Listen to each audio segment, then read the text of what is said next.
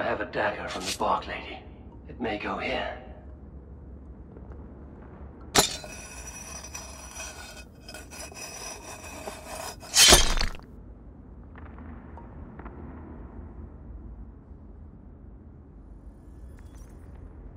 The blade I took from the Lady of the Crag may fit.